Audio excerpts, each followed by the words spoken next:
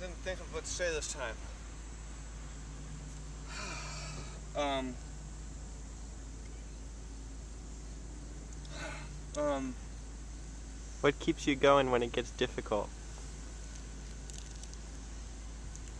Be comfortable with being uncomfortable.